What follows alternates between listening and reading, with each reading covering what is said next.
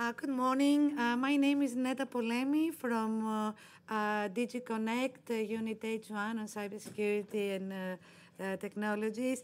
Uh, I would like very much to thank you for attending this uh, Connect University Summer School session on an overview of supply chain security.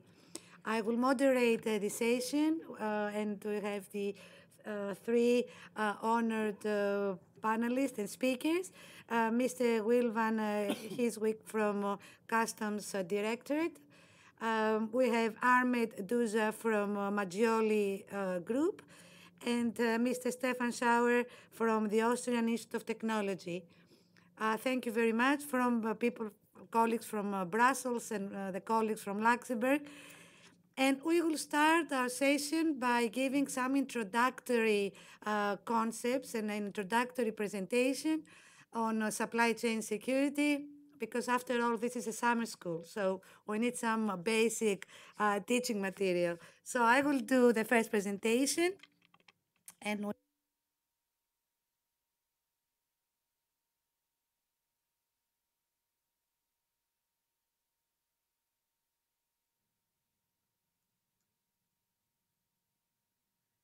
Well, I always like to start my presentation. Can you hear me? No? Hello?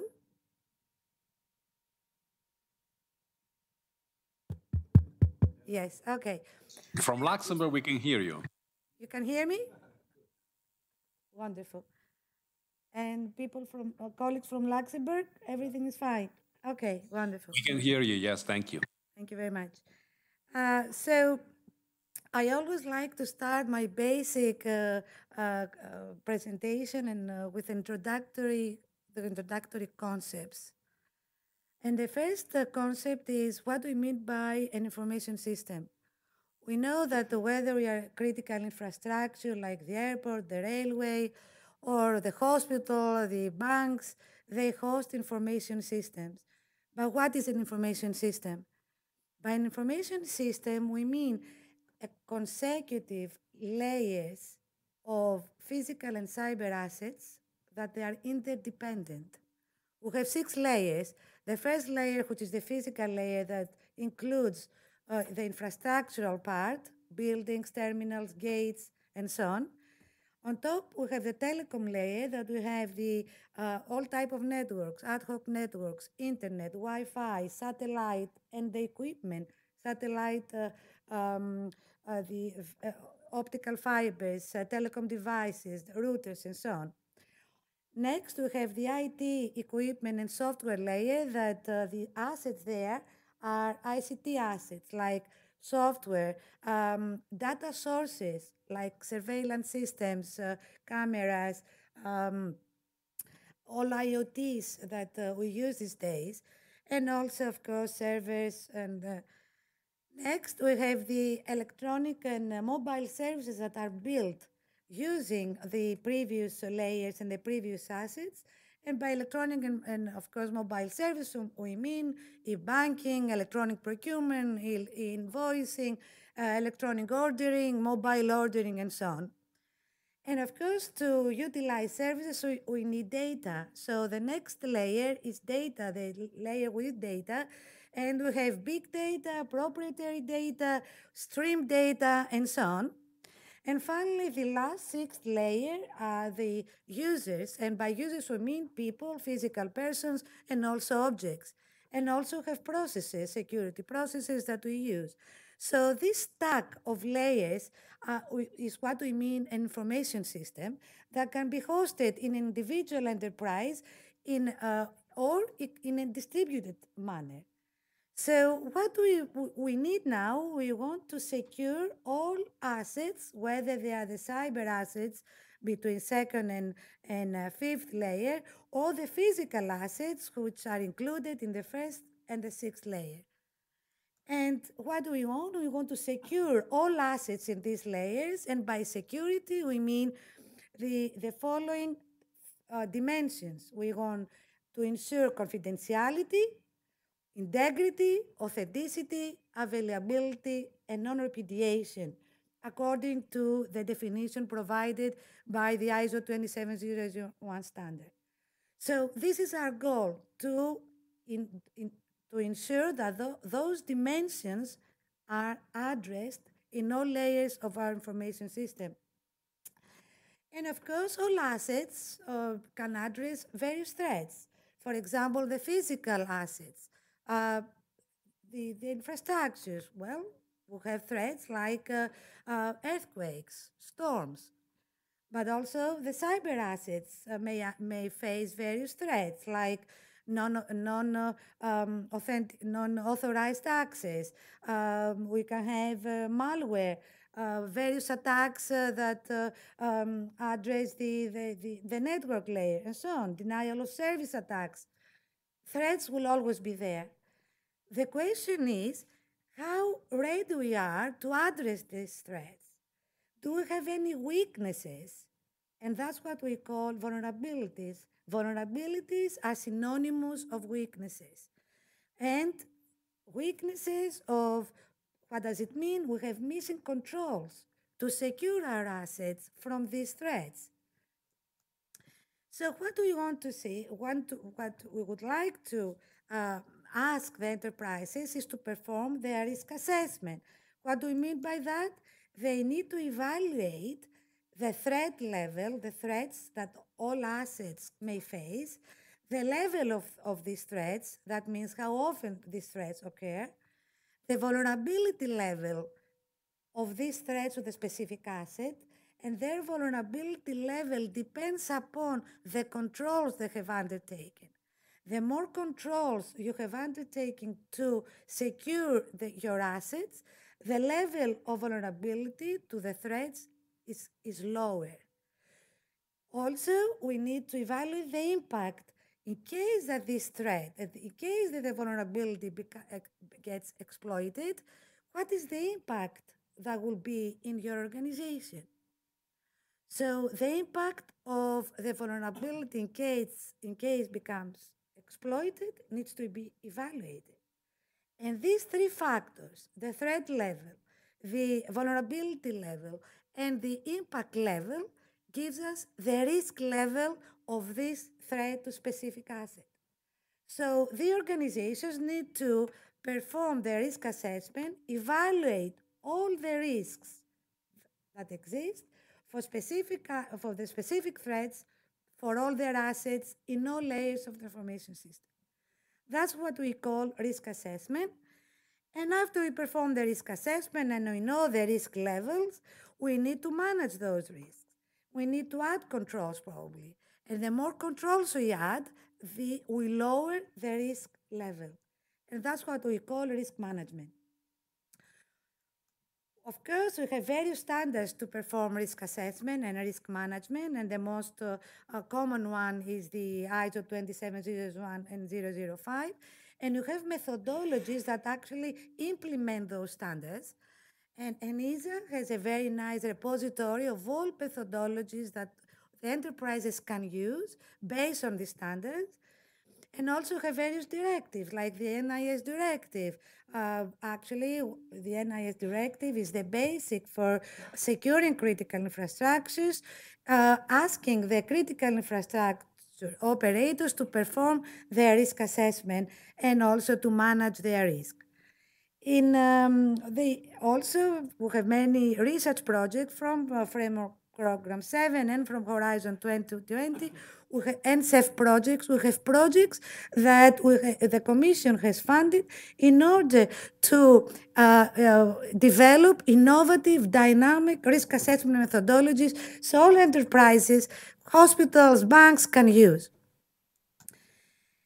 The question is, though, do the enterprises have isolated information system providing isolated services?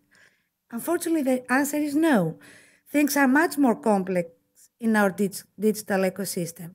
All enterprises, whether they are hospitals or banks or um, uh, critical infrastructures, they provide complex services invo- evol- involving many entities outside of the organization. We have interdependencies of organizations in order to provide a specific service. And I will give an example. The the vehicle transport service, let's say Volkswagen wants to uh, deliver cars from uh, Germany to Greece. This is a typical supply chain service that actually involves the company, Volkswagen, imp uh, import companies, uh, critical infrastructures because they need to move the cars, uh, transportation companies, ministries of transport, and so on. All these entities they, uh, they interdepend and they have connections, either physical or cyber connections, by sending electronic invoicing, electronic ordering through emails, and so on. So, in order to provide and, and this service, they need to collaborate, and uh, the, and this uh, the provision of the service depends upon the successful and secure uh, interdependencies. That's what we call supply chain service.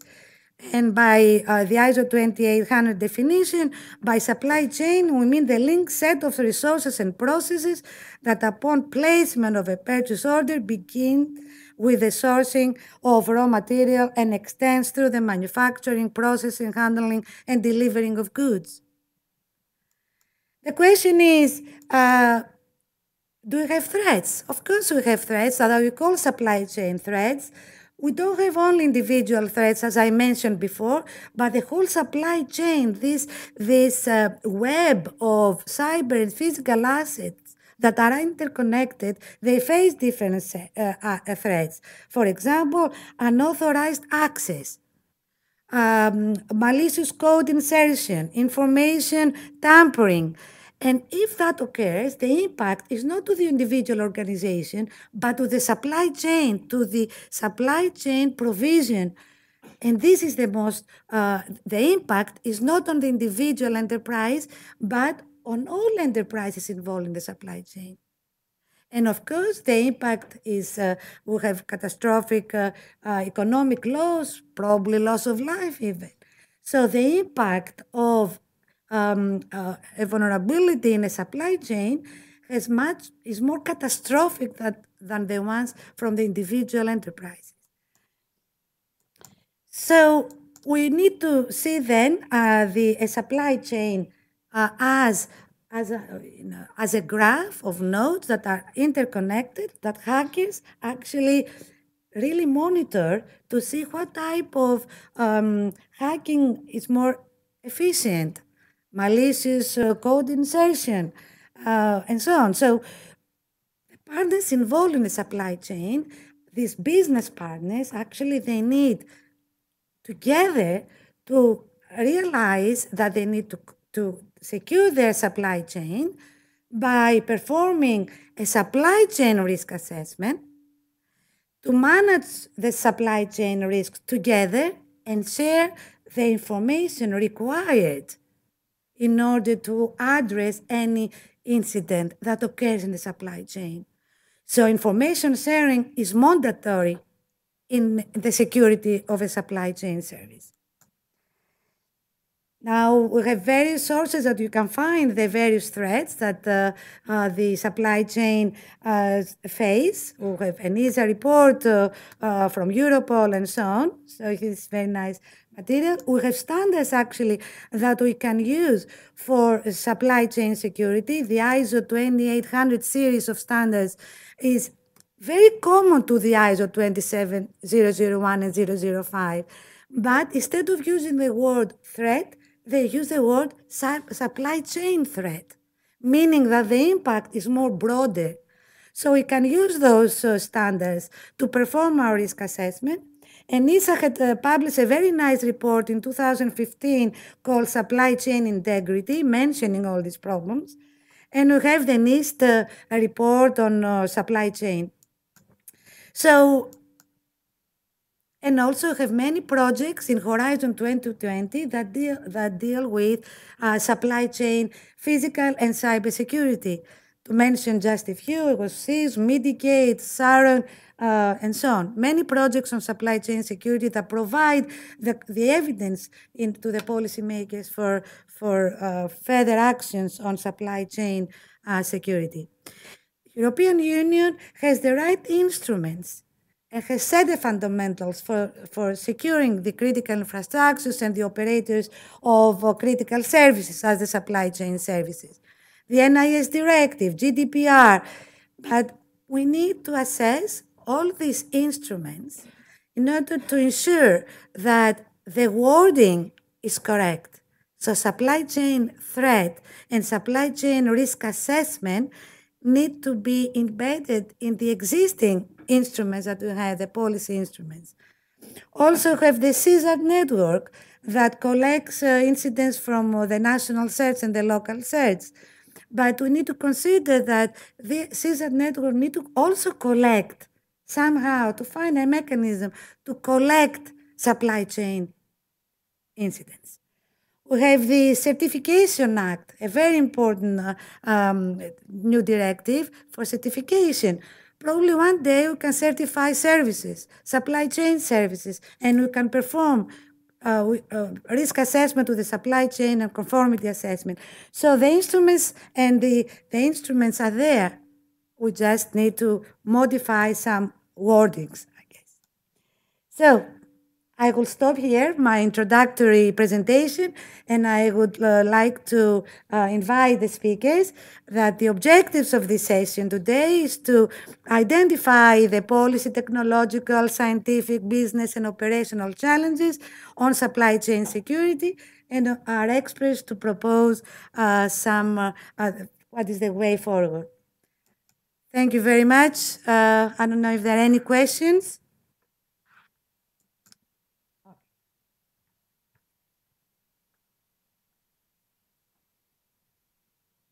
So I'm going back to my new, to the role of moderator, and uh, I would like to introduce uh, Mr. Will van Heeswijk, Uh, that he comes from the Customs uh, Directorate. He is a chairperson of the U, U, EU Customs Detection Technology Project Group. Uh, he is a customs policy advisor to the European Union Horizon 2020 Security Research Program and the EU representative of the World Customs Organization Technical Expert Group on Non-Intrusive Inspection Equipment. The presentation is entitled Customs Supervision and Security in Global Supply Chains. Thank you very much, and the floor is yours. Thank you for the kind introduction. Good morning, everybody. Good morning also colleagues in Luxembourg. Um, it's a bit of, um, we are entering into the uh, holiday season, and I think many of you will start to travel around, and you might come across uh, a custom officer uh, when going, leaving the European Union, or maybe you come back. But these people are not only interested in uh, what are people in carrying uh, around. There is there's much more. And in this um, talk, which I'm going to give you, I will zoom in a bit on what are the customs competences, what is customs doing uh, to protect the European um, uh, Union and its citizens. And I will zoom in a bit more on the physical aspects of securing supply chains and our external borders, as I would expect that my co-panelists would go a bit more in the technical and the, and, and the, the digital aspects of it. I will touch upon a bit, but it's a bit more on where our where our competences uh, are. So what I will um, talk to you about is a bit, I will um, divide my, my talk a bit in, in, in three parts. I will say a bit about the, strat the strategy, the objectives, and the policy instruments which we have to implement our, our policy and our competences. The role of, I should better say, the increasing role of use of technology in supply chain supervision, and I will uh, end with um, saying a few words about new emerging technologies and challenges which that will um, pose for um, uh, the customs community within the European Union. So let me first say a bit a bit about our um, strategy that we uh, that we have. You know, customs is always they are very much interested and they live and they love data. So there is a tsunami uh, of data which is becomes more and more available, which will provide it to customs. Of course, we cannot check everything, we cannot control everything. To give you an idea, last year, in 2017, we had more than, it's about 350 million customs declarations, which need to be checked by, we have in total, um, it's about 115,000 custom officers in all our 28 member states. So if you would there do a bit of a quick calculation, it means that every second, eight customs declarations have to be cleared. So that means that somewhere within the European Union, every second, eight people have to push a button that this goods can go uh, can go on. And you might have, I would expect that you have also experiences in ordering goods outside the European Union. Maybe you deal with with, with Alibaba in China, of other uh, um, uh, suppliers in in the world, and that means that part of your data is at a certain moment, and I will say a bit more about that later on. When it comes to Europe, somebody from a customs organization somewhere in the European Union will look at that and probably decide whether this has to be selected of being high risk or whether this needs to be needs to be controlled. So we are looking for systems and technologies that can support us to develop a systematic sharing of risk-oriented information. And we have to do that in a way that we have efficient measures to stop illicit, restricted, and prohibited goods. Of course, we cannot do that alone. Uh, there's also um, economic operators uh, working in, uh, in, in, doing business, doing trade, using supply chains. So they are partners. We have to work with them. Customs is not only anymore interested in just the traditional tax uh, uh, issues, VAT, import duties, excise, things like that. Because since the terrorist attacks we um, um, that occurred after um, uh, 2001 in the US and also terrorist attacks we had in, uh, in, in London and in Madrid, there's a number of security-related tasks have been attributed to the customs administrations. And they are really now a service provider for supply chain security. It's our competence, the competence of uh, the European Customs Administrations, to secure external borders and to oversee and to monitor global supply chains. So in this way, we, as DG TAXUD, together with the member states, we contribute on a daily basis, 24 hours uh, per day, to the security of the European Union but it's also our task to facilitate legitimate trade and to also to promote European competitiveness. So customs should not unnecessarily interfere in the flow of goods. Uh, so we need to have good reasons if we want to control something and how we are going to do that. So we can say that customs is really in the front line now um, in the fight against fraud, terrorism, and organized crime. These are things of which on a daily basis they might be pops up in supply chains because it's not a secret that supply chains which exist are used, they are vulnerable to be used by criminal organizations to get goods across within, uh, get into the European Union or even export from them. So these are the, um, the top 10 categories of goods that we don't want to have in our supply chains. And when I speak about supply chains, it means it can be every uh, uh, transport mode. It can be by car, it can be by bus, it can be by rail, airplane, ships, um, uh, post. So there's that's the the definition for us of a supply chain covers all modes of transport, and we have to have systems in place where we can prevent and we can detect and intercept and stop these types of of threats of threat material. You can see it's very, it's very vast, and this can also differ. These threats are not always on the same place, on the same time. They can differ. They can differ from country to country, from region to region, and they also can be pops up more um, uh, uh, more often, less because criminals they will see which kind of material they can make the best profit of, and they are easily can uh, shift to what kind of material they want to get Uh, into the, the European Union. So our main policy objectives is, is to enhance security in the supply chain, and at the same time, we have also to facilitate trade. It feels a bit here, there can be a bit of friction there, because if I put more emphasis on security, the effect might be that I will do more controls, more in-depth controls, and I'm going to slow down the flow of goods, the trade, so the economic aspect. Which there we have to find a balance.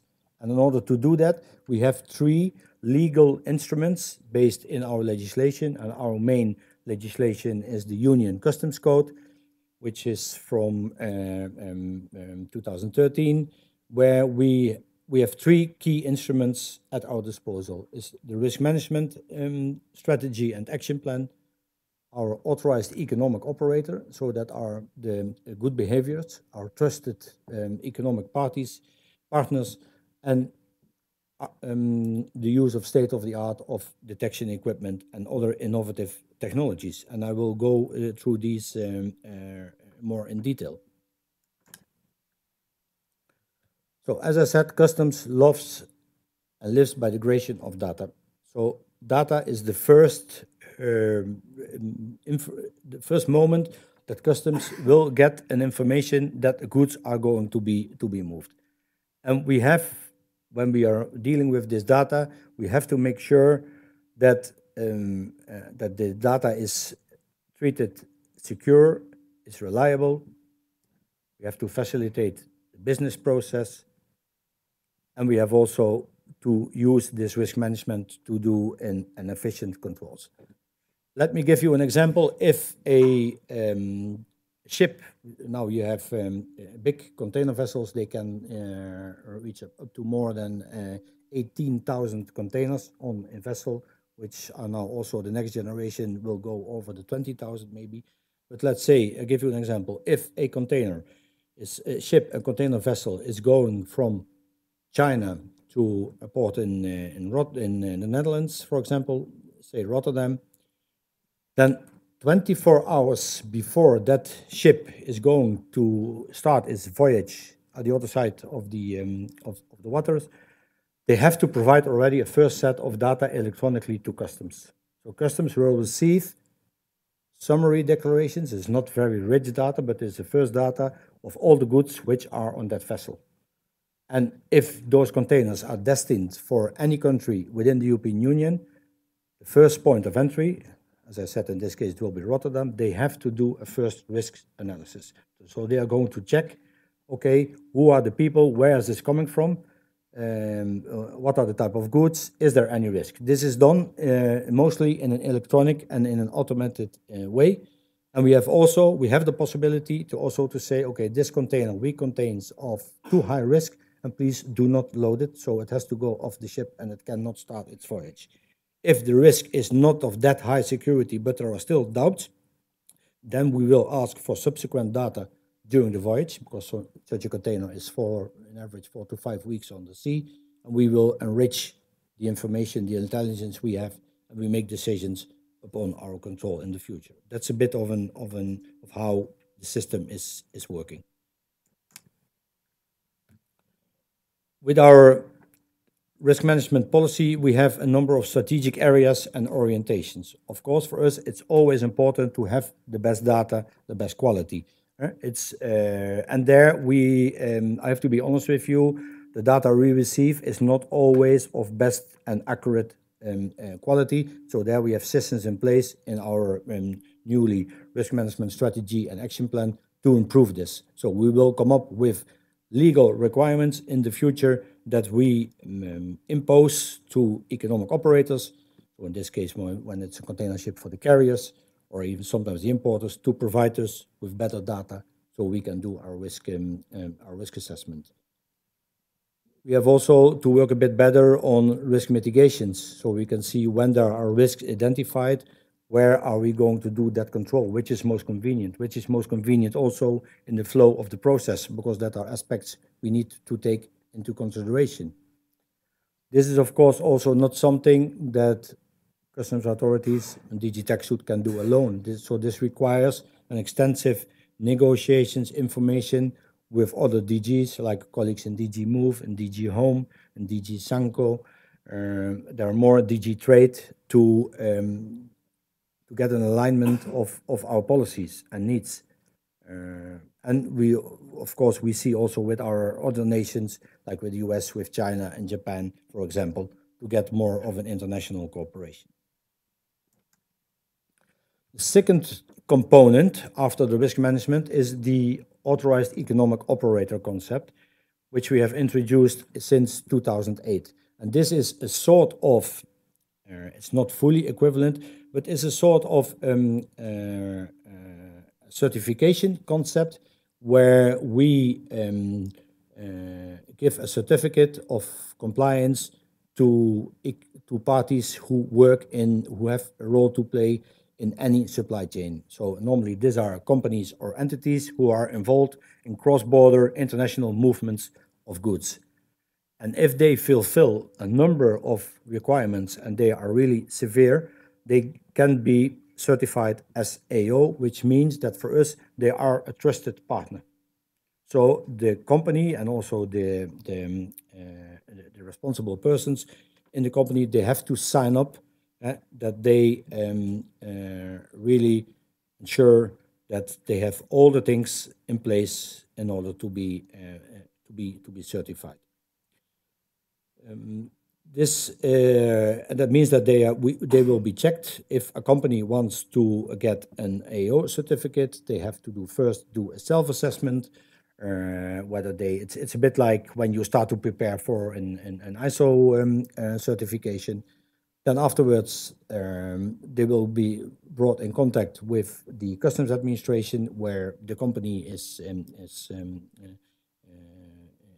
as, uh, in the country where they uh, uh, where they are, and then further controls will be will be done. This requires also an in-depth analysis of, of, of the bookkeeping of the um, the the financial solvency, how they do the vetting of the personnel, how is the security with whom they are working, and at the end they might be get a, um, uh, a certificate.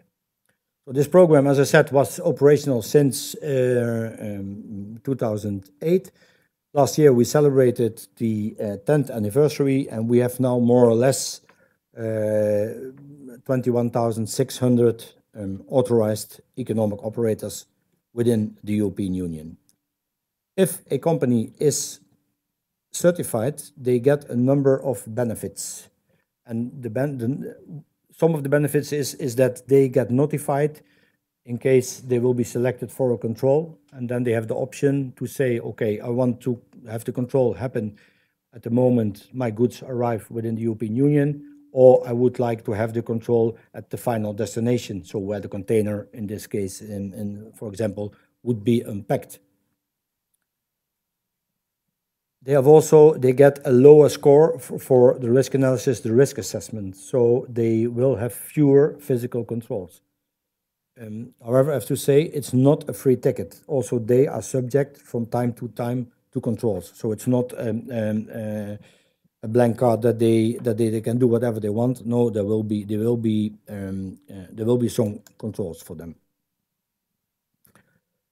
So one an AO certificate is recognized, it's immediately valid, um, valid in all our 28 member states. The, such a certificate is, um, uh, has an unlimited um, uh, validity, but from time to time we do cross checks uh, in our member states to see whether a company, an entity is still complying with the rules. And in case there are infringements or there are legal procedures, such certificates can also be suspended in case investigations are ongoing, or they can also be revoked.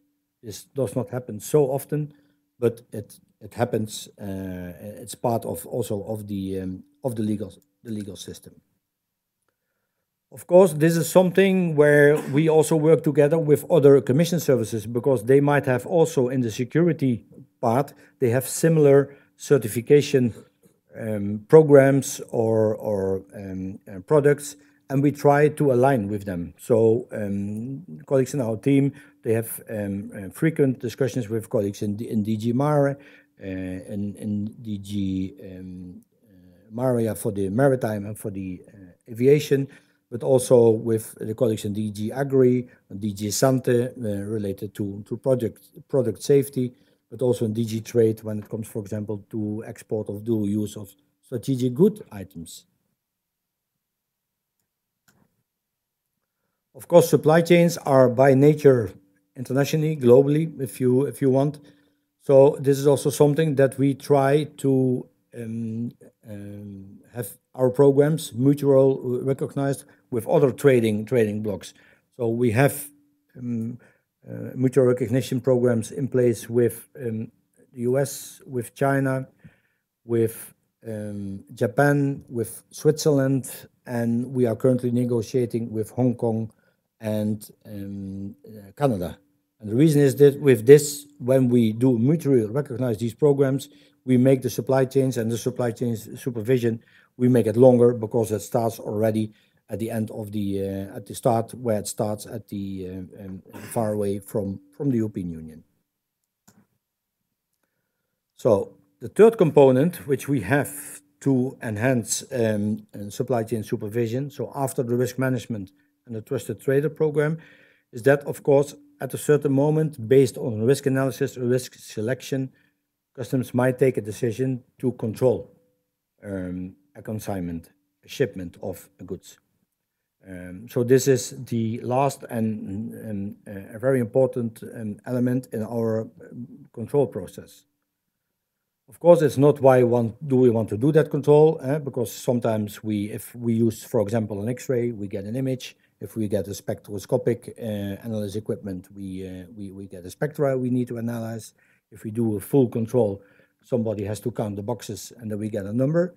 But the main reason for is why we want to make use of any kind of detection technology is that the custom officers who are in the field, they have a very, very limited time frame to make a decision.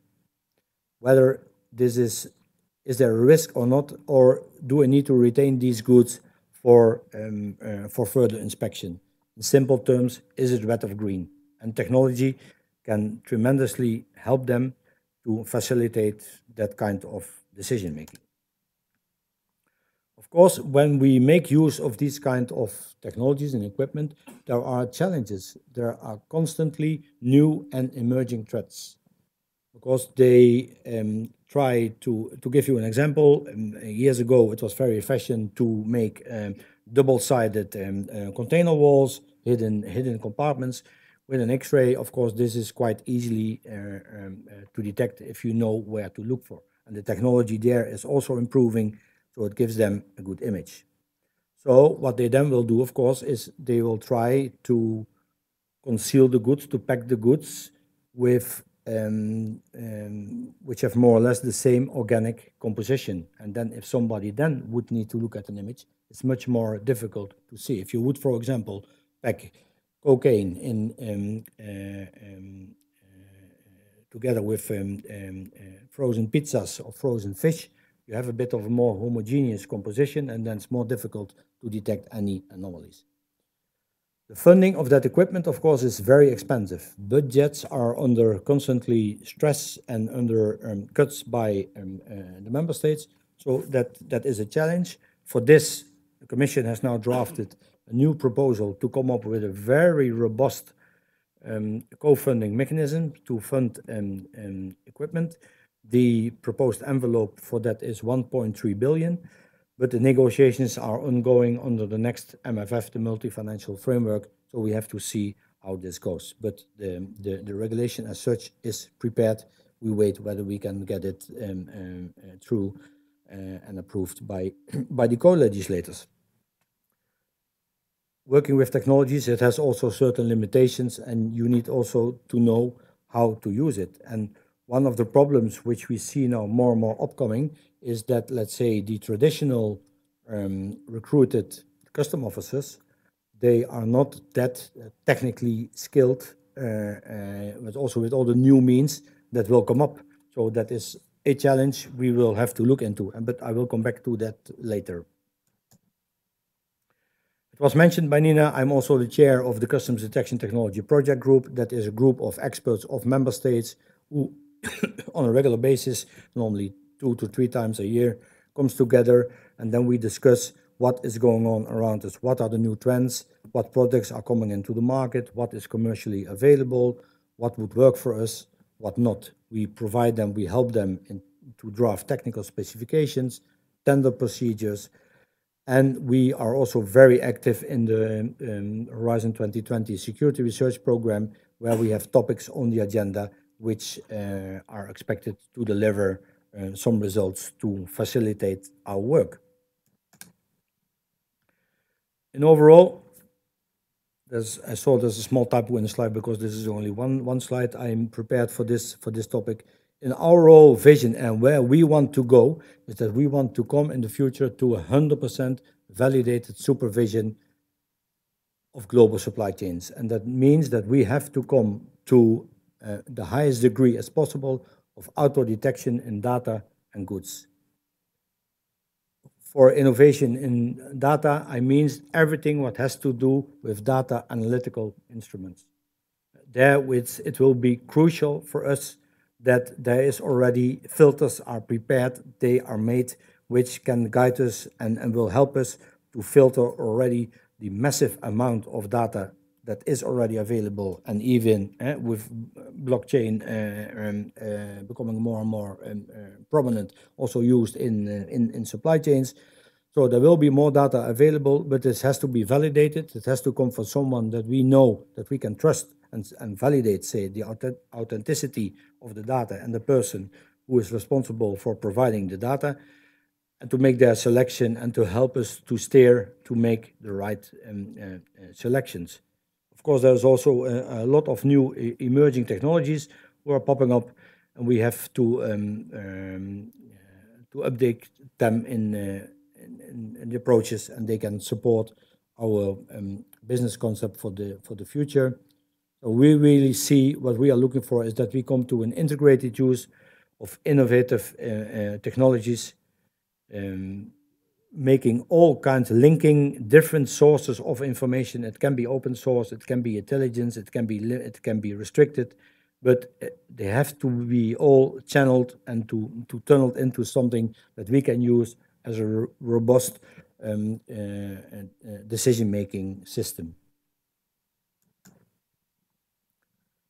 Of course, we are not blind and we see what is happening, what is working um, around this. And the technologies I have set up here that are currently, um, uh, let's say, modern technologies, which will have an impact on the future way of working and how customs is doing business. Uh, blockchain, there are already uh, um, um, big entities um, uh, like Maersk and IBM, they have already set up a, so-called TradeLens platform where they provide um, um, data in uh, uh, supply chain data, which will also be linked to, to customs. Artificial intelligence is popping up more and more to develop algorithms which we can use to train our people, but also the equipment we have to teach the equipment.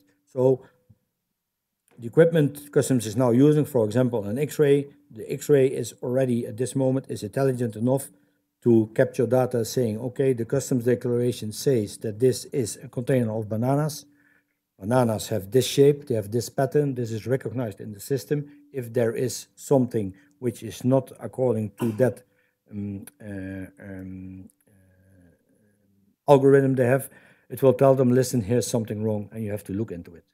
But this goes very fast. These are developing. Internet of Things, everything. I think you all here in the room maybe might know much more about this than, um, than, than I do. But we see that there will be uh, the interconnectivity uh, that is that brings a lot of positive things, but it, it, it makes you also vulnerable. Uh, virtual rea virtual reality, something we will look into to further for training purposes. Drones.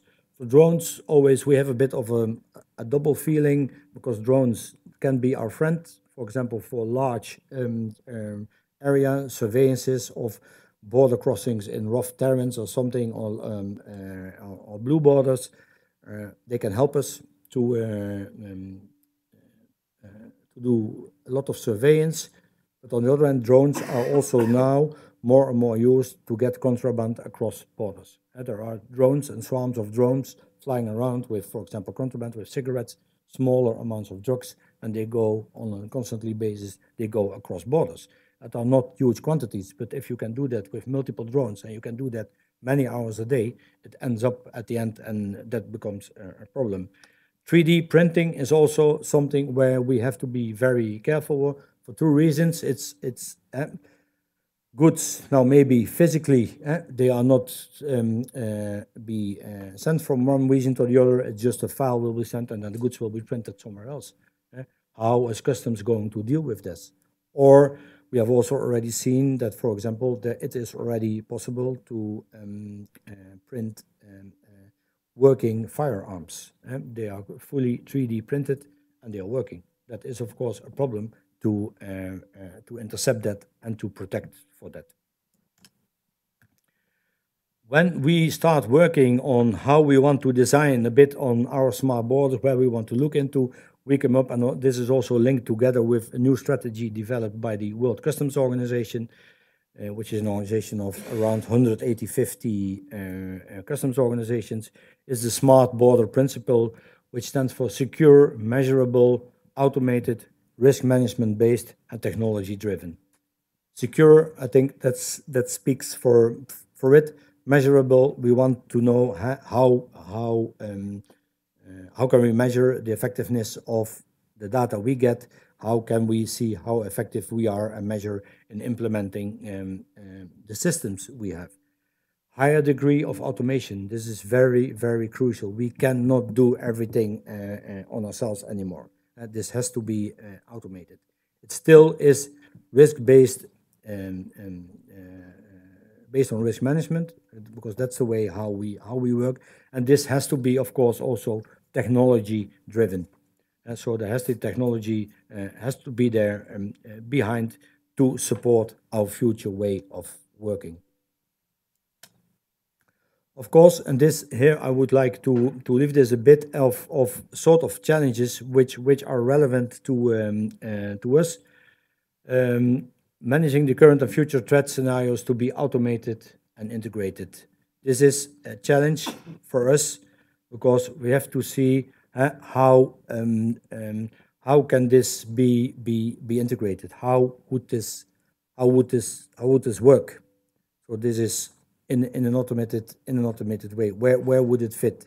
So this is this is important to us, and this also becomes together also the link where maybe um, uh, let's say, uh, artificial decision making will be combined with the uh, uh, the human the human decision making. The human factor is very very um, relevant for for us is because it's um, the technology developments they are currently going so fast so we are also uh, sometimes a bit worried and we have to see whether is our, are our organizations, are we ready to cope with all these technologies? Is the staff ready to um, grasp all the benefits of all these technologies? So that means that we have to look into um, uh, and to revisit together with the member states what would be the future policy of recruiting staff. Because you have to recruit people with a higher degree uh, younger generation also, which are able to cope with all these new these new these new uh, these new challenges. That's something, and this also then will have to be embedded into a very robust new style training program. The other thing is that we have to also to um, uh, raise uh, to start awareness raising uh, campaigns uh, at, at the same time. Of course, ethical uh, and societal impact of, of new technologies. That's also something where we have to look into. Is it for law enforcement authorities? Do they simply have to accept everything which comes available, commercially available, or are we? Do we have to be a bit more selective into uh, into this? Who will govern new technologies? Eh, Is it the technology by itself, or, or is it the people? Eh, What will take the overhand? eh? Will it be the the the the the machine decision making? Is it the the the persons? Um, that that are things which are relevant for us and where we would like to um, uh, to work um, uh, much more further on, which are challenges for us. And for us, we have no time to sit back and to relax, and we have to act together. And that's my final um, uh, slide.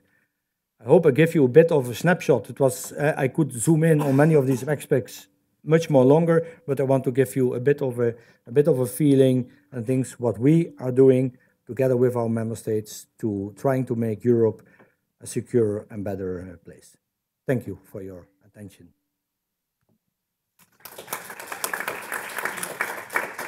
Thank you very much for this very interesting presentation. Uh, let me take some questions from starting with the colleagues from Luxembourg. Are there any questions?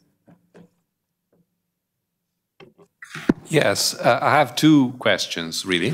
So the first one has to do with the uh, artificial intelligence aspect of what you described. So uh, DG Connect is currently in the process of making its plans for funding programs in artificial intelligence in the next commission.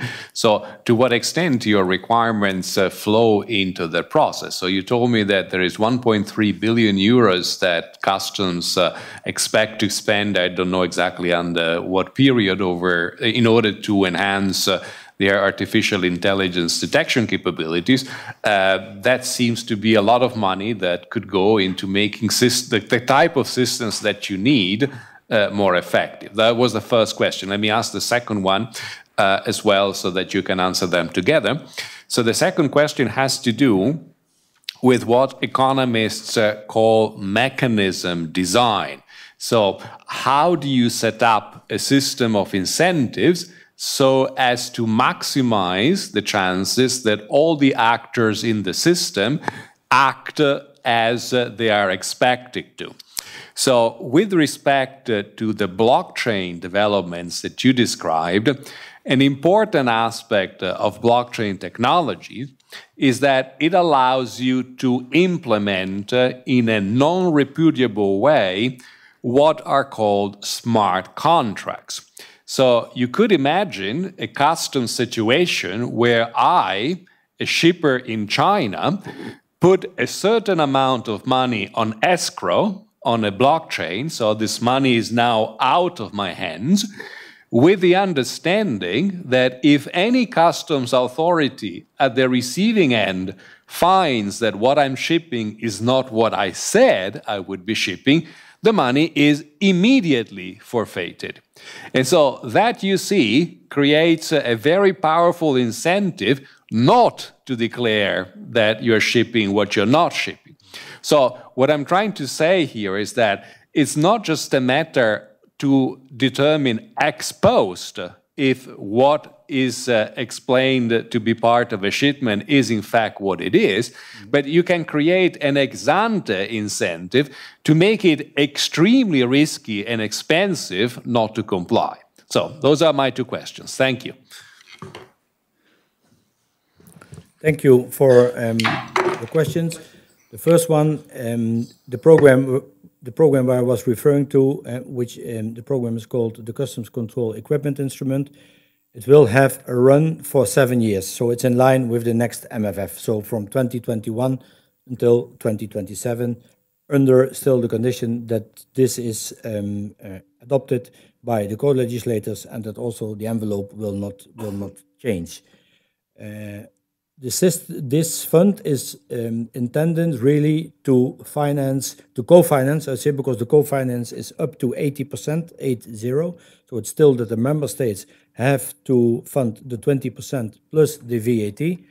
Um, so yeah, you can say it's it's a lot of money. I agree with you, but for a seven years program, 28 member states, uh, uh, then maybe at the end it's uh, we have to see how the how this works. Um, that is the, the to, with regards to the envelope. Then artificial intelligence is something which is uh, which will be embedded into this because we want to have the technology make them more more more um, uh, uh more workable. And so we want uh, we have already now some research projects ongoing under Horizon 2020 which are looking a bit into these aspects. So this is certainly something which comes up and where we have to see what, how this can be done in, in, um, in, in a better way. And this is also something where we would also certainly on at the European level, we have to consider uh, because the people who are developing these algorithms for um, uh, to have um, uh, to apply artificial intelligence, they need a lot of information, they need a lot of data. Member states are a bit reluctant to share this data, but we will have to find a way to get them across and to open up and to able to provide them. So that's something which needs to um, which needs to to happen, which will be relevant in this in this case.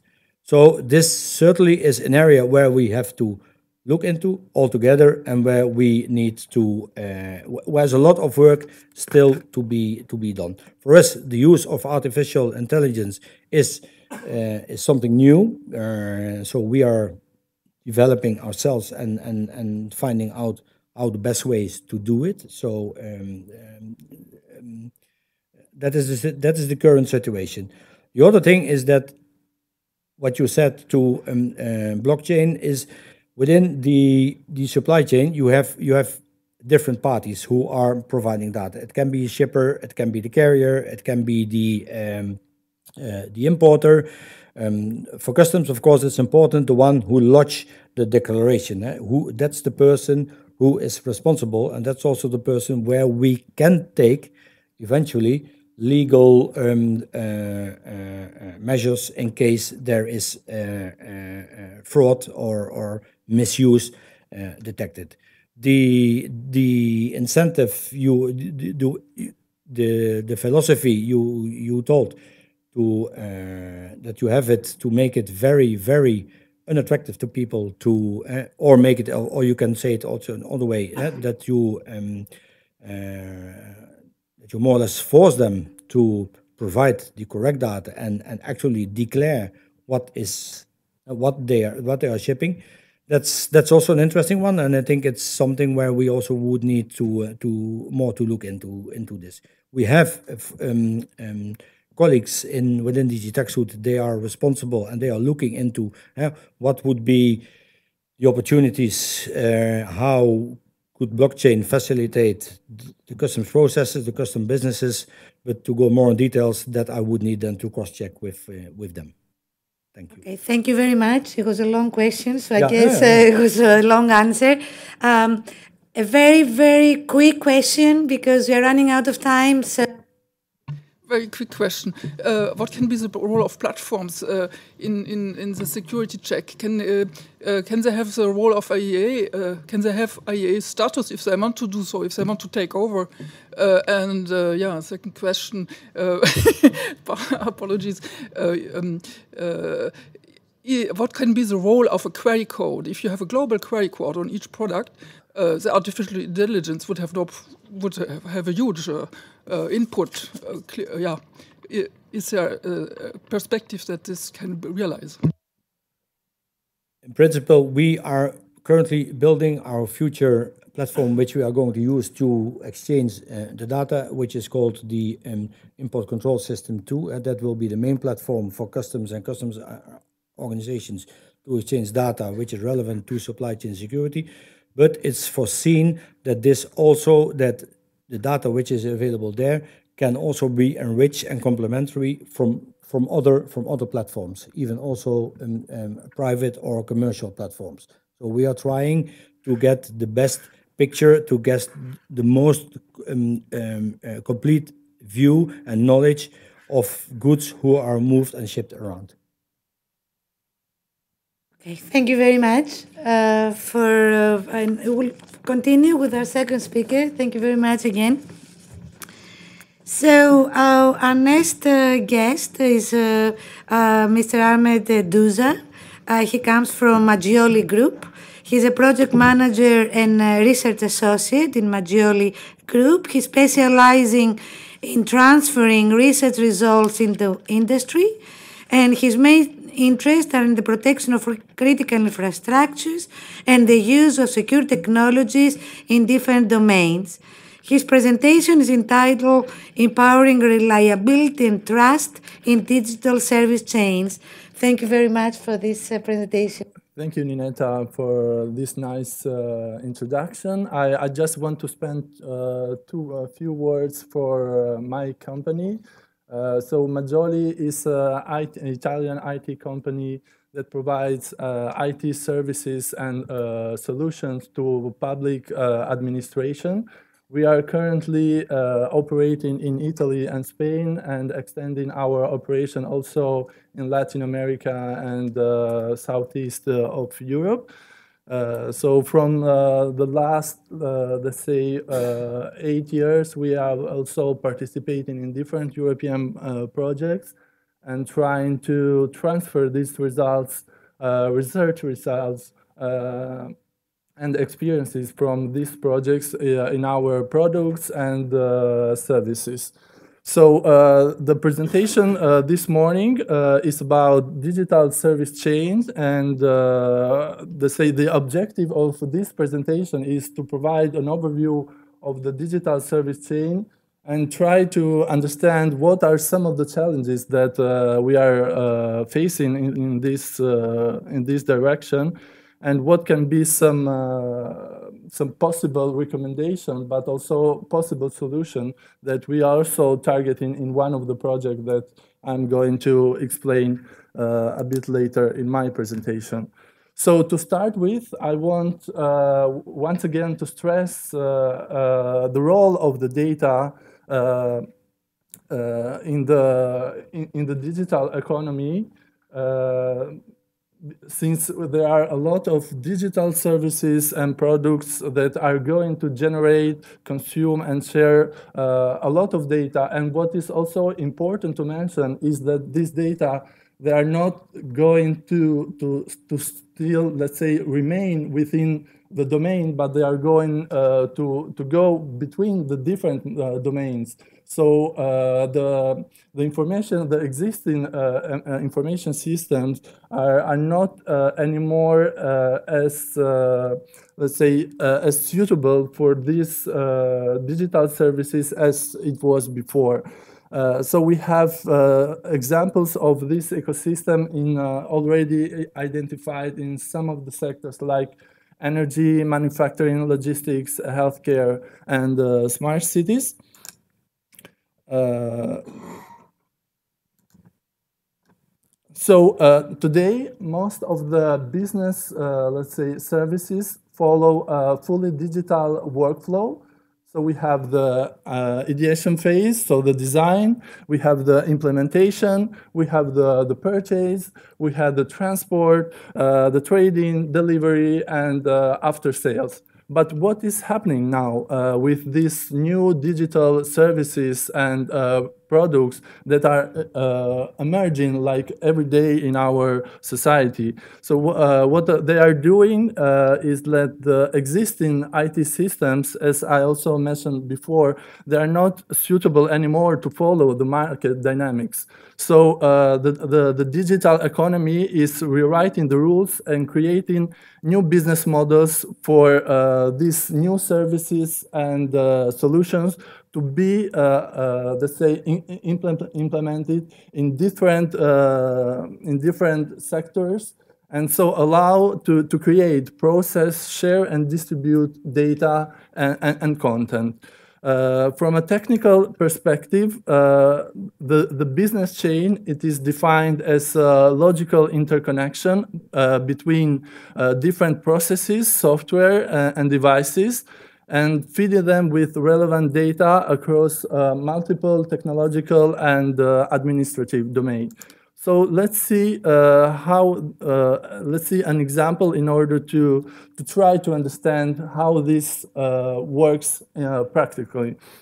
So we have this industrial supply chain with uh, three main uh, sectors. So practically we have the manufacturing, we have the transport, and the assembly. So there are uh, different sectors involved, different sectors that they have to communicate uh, with each other in order to, to process, uh, in order to to, to complete the, the full uh, system uh, and deliver the, the, the required uh, system to the, to the end user.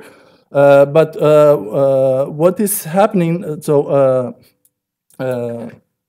sorry, then we have also a lot of interconnections between these different sectors because we have like IT, uh, IoT devices, we have uh, different IT system, a cloud uh, or edge computing that they are connecting, they are interrelating to each other. So uh, every one of these interconnection is a potential risk, uh, a security risk for, uh, for the, for the specific domain, but also for the entire chain. Because if one of these uh, uh, IoT devices, for example, of one of the IT systems can be uh, can be attacked by a, an external uh, entity, problems, uh, security issues can be translated within the, the domain, but they can also translate it and transferred to other domains that are uh, interconnected to this specific domain. So uh, this requires uh, a, a, total control of the, the, of the entire chain, so uh, of the specific connections, but also the interconnection between the, the different domains and, uh, uh, and the, the data that is, uh, let's say, shared within these domains and, and the events.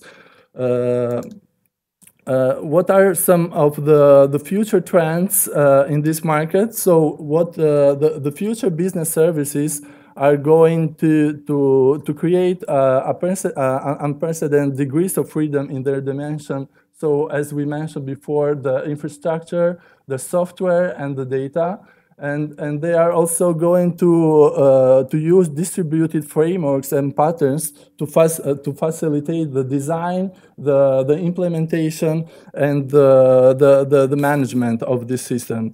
Uh, convergence among these uh, existing uh, system and software paradigms like, for example, the cloud computing, the software-defined uh, the, the software networking, and the Internet of Things uh, will also uh, leverage the autonomicity and dynamic uh, composition of these service-oriented and everything as a service uh, cyber-physical systems.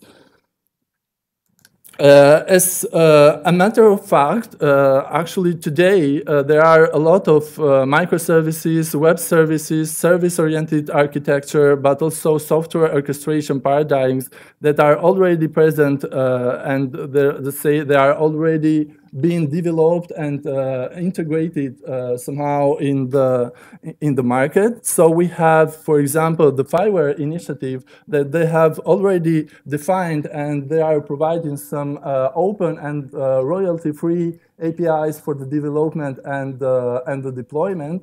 But from the other side, the International Data uh, Space Association is providing a, a, a, complete architecture for the industrial data spaces.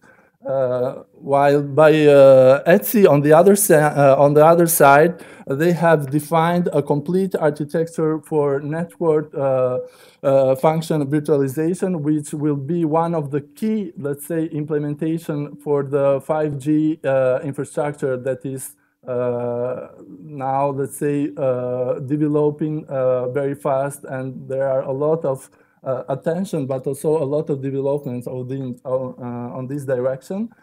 Tosca, on the other side, is by default the, the standard, uh, the de facto standard for providing, uh, uh, let's say, IT system for, for, or for cloud application.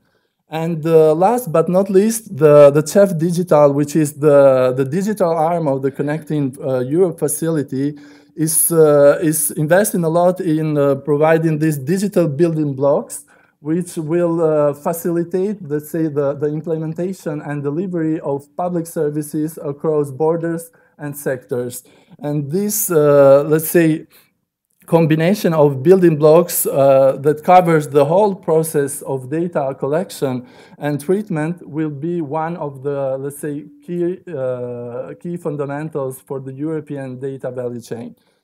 Uh, so going back to the security problems that, as we mentioned briefly before, so the, the growing complexity, the multi-domain characterization of this uh, uh, digital uh, supply chain the outdated security paradigms and the scarce automation of this related process are making the digital services uh, even more vulnerable to security breaches and less trustworthy.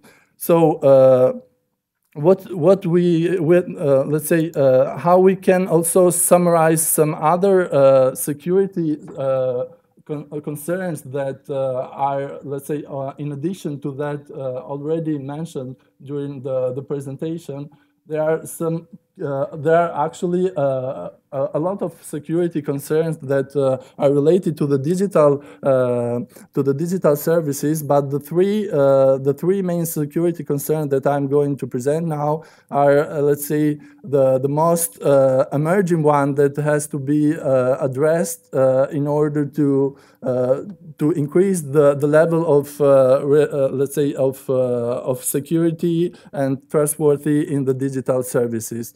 So from uh, from this uh, study of uh, uh, of NESSI uh, white paper that was uh, delivered in 2017, uh, they have pointed out that actually one of the, let's say, the, the main challenges for, for the security of the digital supply chains is still the manual operation. So the involvement of the, of the individuals of uh, human individuals uh, in the design, in implementation, configuration, and management of the supply chain.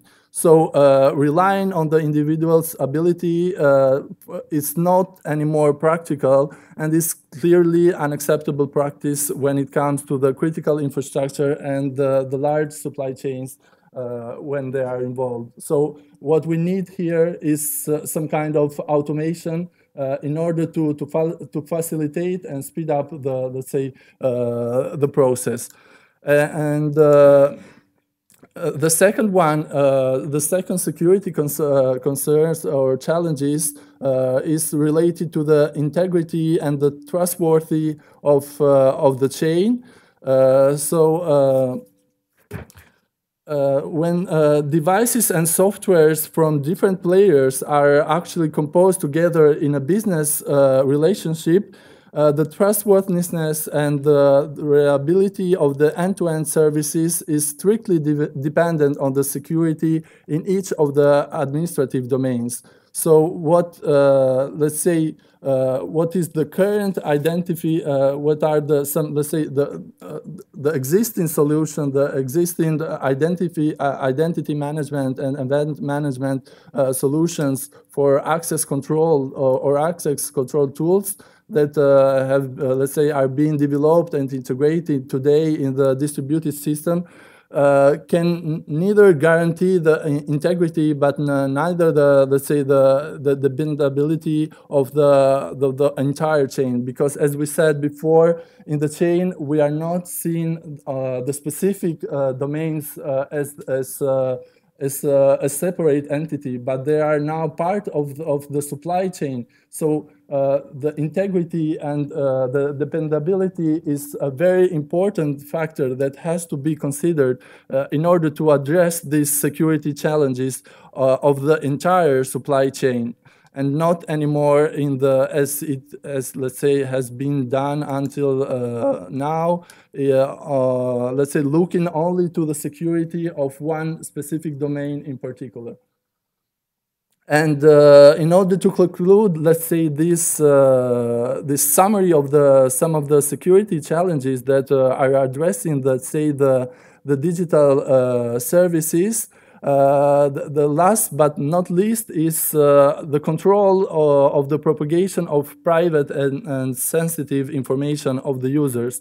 So we know that actually tracking this, let's say, let's say this data, uh, the user data within the entire chain uh, is, uh, let's say, very difficult and actually very very hard to, to be traced by the user who cannot easily check whether the, the service owner or the security mechanism that are, let's say, being adopted in order to increase the level of uh, integrity of the security, like the uh, encryption, uh, encryption mechanism, or also the confi uh, confidentiality policies uh, are not compliant with its own requirement, but also with the, the legal and ethical requirements when it comes at national and, and European level. So uh, when the, the private data and sensitive data are shared among this uh,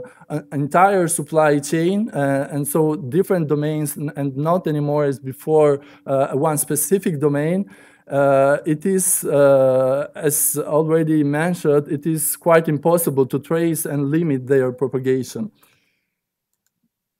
so other challenges that that are facing uh, when when uh, we say dealing with digital services and uh, specific uh, supply chains uh, related to the um, to the security chain.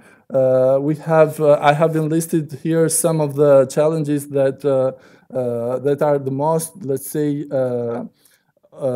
let's say critical that has to be addressed. So there is the the slow and ineffective detection of attacks due to partial or incoherent security information or also uh, due to non-interoperable uh, algorithm targeting specific cybersecurity uh, attacks, uh, difficulty in identifying new threats and vulnerabilities because of limited information and data available, but also uh, ineffective correlation of data from mul multiple sources. And uh, another, let's say, uh, related issue is maybe also the lack of big data and machine learning techniques that uh, that let's say can be used in order to to identify new threats or, or zero day uh, vulnerabilities. Uh, another issue is the outdated and inefficient architecture that are being, let's say, up to now uh, adapted for sharing security content, so which are unable to uh, to combine the need for fine-grained knowledge with uh, efficient resource usage. Uh, the, the, technology and the business lock-ins for the adoption of vertical and uh, tightly integrated network and cybersecurity solution. Uh, okay, then I will move on because uh, Ninetta just pushed me to, to go directly to the conclusion. So I will go very fast uh, just to mention that we are now involved uh, in a European project which is called GUARD. Uh, it is uh, funded by the European Commission under the Horizon 2020 uh, program. And uh, let's say the, the main goal of GUARD is to improve the awareness of the digital, uh, of the different layers and uh, involved in the business processes. So from the users, the IT staff, the management, the, the legal departments, and uh, in order to improve the, the response and mitigation. And so the vision in three words, let's say, is to improve the detection of these attacks and the identification of new threats by applying real-time and offline machine learning and artificial intelligence mechanism, uh, leverage the programmability to shape the granularity of contact information uh, to the actual needs, and uh, of course improve the improve uh, the awareness and reaction by developing user tools for uh, visualization, notification, configuration, and uh, mitigation. So uh, what are some other recommendations for future works that let's say that uh, as I illustrated before, there are a lot of challenges, security challenges that has to, let's say, to be addressed when dealing with uh, digital service chains. Some of them, uh, we are trying to, to address them in, uh, in the GUARD project, but uh, of course, there are other uh, challenges that, that need more attention uh, from the market, but also from the research and academia uh, community. So there is the need for continuous security assessment of complex and dynamic uh, system topologies. Uh, the adoption of uh, cost-effective and scalable methodologies to engineer security and privacy in new systems and services, and uh, to evolve the autonomous systems into a programmable system, improve the agility of the software development, and uh, of course, improve the awareness of the users about the, their trustworthiness level. So the users has to be the key drivers uh, together with the data because the data are strictly related to the users. So the users have to be fully aware of their data, where the data uh, are generating, where the data is coming, and uh, how the, this data is moving from one domain to another domain and to the entire supply chain. So that, that is my presentation. Thank you. Thank you, Ahmed, for your very nice presentation. So I'll give the floor to the colleagues from Brussels now to start their questions. And then, are there any questions? Okay. Well, the colleagues from Luxembourg. No questions. Thank you. Okay, that's great because it's giving me the chance to have a question. Okay, so so do you want to? Um, it is very interesting um, uh, about these future business services you mentioned, which uh, using distributed frameworks and pattern, patterns to design and manage supply chain. Uh, we always say that we always need uh, new business models in the in this digital era. And uh, I'm wondering if there are any um, projects or efforts that you are aware of uh, for starting this uh, new way, n- new future business services, because I think this is this is a solution actually to distribute uh, the, the the patterns and the framework to Actually, manage. Uh, while we were preparing GUARD, the proposal of GUARD, we did uh, an initial market analysis trying to investigate if there are already some existing solution on the market or also some research initiatives in, in this direction. But actually, there are no real, let's say, uh, or uh, let's say, uh, real initiatives that are addressing uh, these ones. But of course, GUARD is going to move in this direction. GUARD just started last month, but uh, uh, I, I hope that from here to one year or two years timeline, we will have uh, some real results uh, on this direction. And since this is also an innovation action, uh, our goal is not just to provide research or uh, academic, uh, let's say, uh, solution, but also to provide some real uh, business models that can be uh, applicable by different business uh, chains a- and sectors. Uh, so, as we mentioned before, healthcare or uh, industry four point zero, and other sectors, of course. Thank you very much. That's very interesting because new challenges require new models, and uh, that's a very nice approach. So, uh, thank you very much. Uh, so we will continue with our last speaker. This session is very, very interesting because we had a policy expert, a business expert, and now um, a mathematician, actually, that we can see some new models for risk assessment.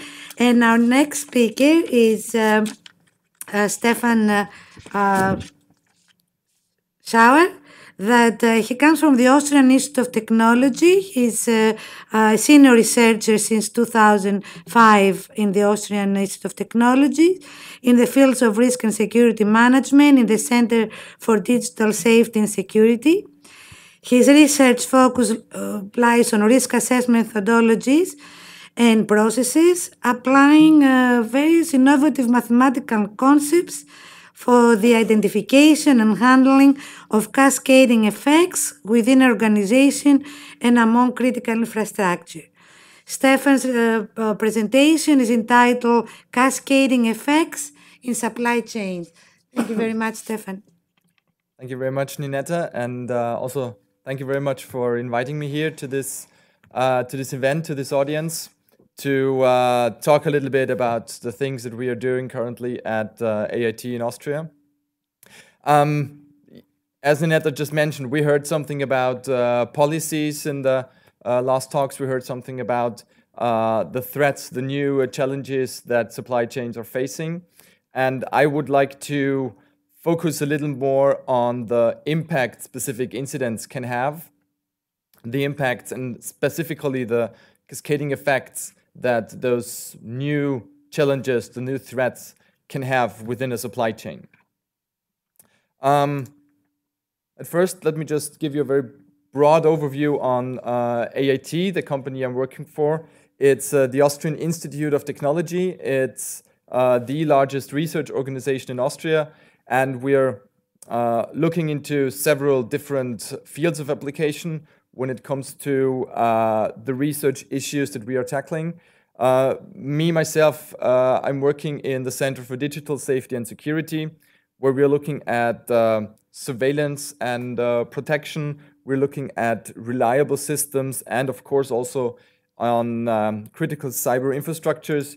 And here, as Ninetta just mentioned, I'm looking into risk management, security management methodologies, which can be used to protect critical infrastructures uh, on a national basis, but also, of course, to protect supply chains, which themselves uh, represent critical infrastructures not only for one nation, but uh, also um, across different nations.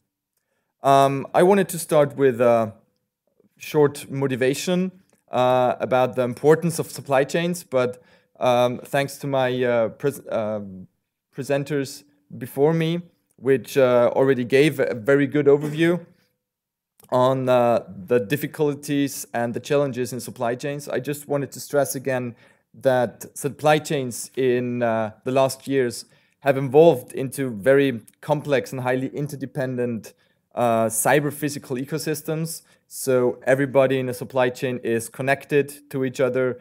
There are a lot of uh, digital systems that are operated by the different business partners within a, a critical infrastructure. Armand just gave a very good overview how they're uh, interacting and that due to this increasing digitalization, there are a lot of new threat vectors coming up that give attackers from all over the world the potential to interfere with the supply chain, to hack specific um, business partners within a supply chain, and um, cause a lot of damage to uh, the economy and to the infrastructures themselves. Um, one uh, big example, maybe one of the biggest, was uh, the NotPetya ransomware attack in 2017, which was yeah about this time two years ago in uh, in summer. The the ransomware affected uh, several big companies. For example, uh, the pharmaceutical company Merck, which uh, had suffered a damage of about 870 million euros. There's also the uh, the European branch of FedEx, the TNT Express, which uh, suffered um, at first 300 and then they had to increase. They suffered 400 million after all from uh, the NotPetya ransomware attack. And of course, there was uh, the shipping com company Möller Maersk, um, which also suffered a big loss, um, about 300 million um, euros from this infection with uh, the ransomware NotPetya.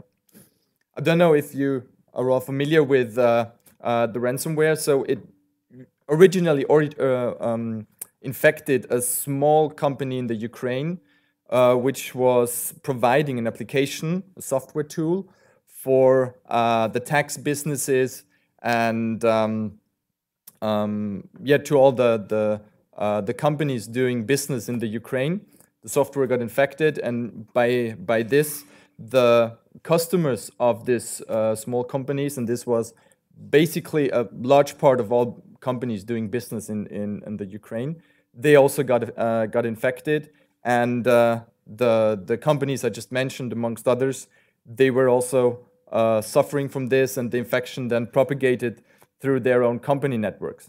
Now, in the context of Möller Maersk, for example, um, the effects were very visual to the public. It was not just IT systems affected. Um, the, the ransomware, the effects of the ransomware were just that the system would shut down and would not come up again unless you pay some ransom. And uh, in the context of Möller Maersk, the um, operating terminals um, they are having in, in many of the ports all over the world, uh, the systems in those terminals, they shut down.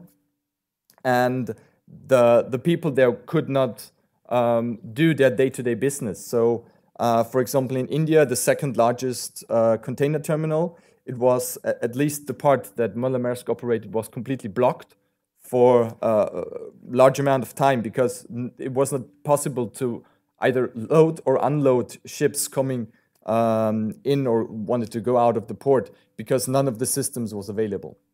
So this is one of the most uh, illustrative examples how uh, a cyber attack in one small company in the Ukraine can have an effect on uh, a, one of the largest ports in India and um, just halting all of the, the business going in and uh, going out of, uh, of the port. Now, the, the core thing in uh, supply chains, and this is also something that um, has been mentioned in the previous talk by uh, Armand, are the interdependencies between the business partners of those supply chains. So here on the right, you can see just a, a very um, um, high-level illustration of the different sectors that those business partners can come from. So we have uh, uh, we have uh, the government services here, of course, bank financing, communications to a large part, so all the um, IT infrastructure and so on. And there, there are business partners working in those uh, in those areas, and they're offering their services to other business partners who are also uh, working in the supply chain, and they are depending on those services to operate to provide their own services. So um, this main characteristic of, of uh, an interdependence is what makes the, the, the, whole supply chain so vulnerable to uh, a particular attack on one of the business partners. In general, we can distinguish between physical and cyber dependencies, where uh, physical dependencies, uh, you are dependent on a, on a resource of a physical service that is uh, provided by one of your partners, whereas in cyber dependency, you're just uh, dependent on information, data, or a cyber service that is provided by one of your business partners. And um, with the increasing digitalization, of course, the, um, the, the, the, space, the number of cyber dependencies just grows bigger and bigger.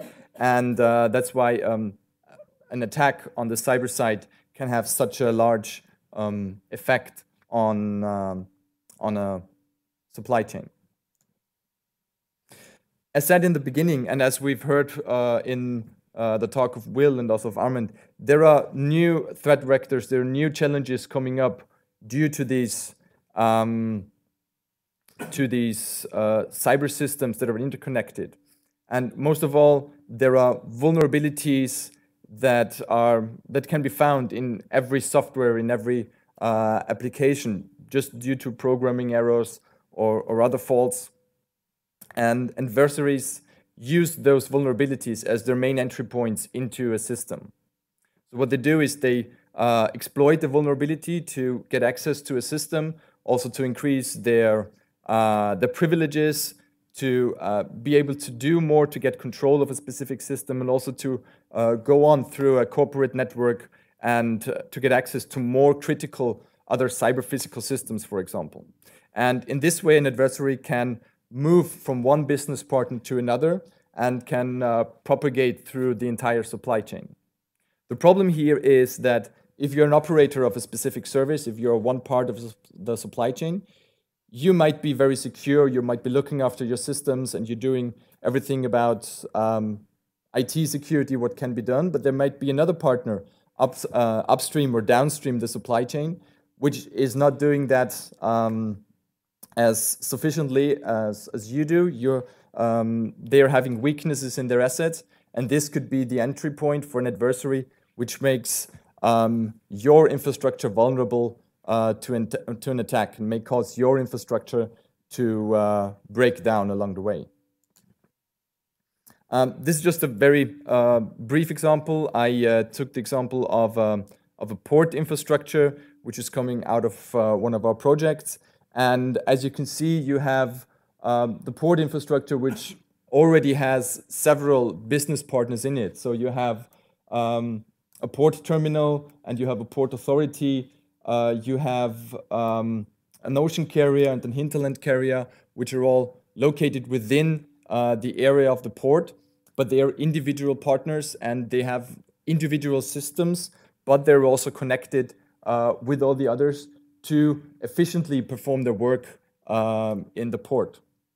Now, if something uh, if something is happening, like for example, you have in uh, customs, you have a database which is uh, vulnerable and some adversary can exploit that, then uh, the port authority can also be um, uh, affected by this vulnerability because uh, the, the adversary can use the network connection to go from customs to the port authority and uh, maybe steal some customer data, have some ransomware infection.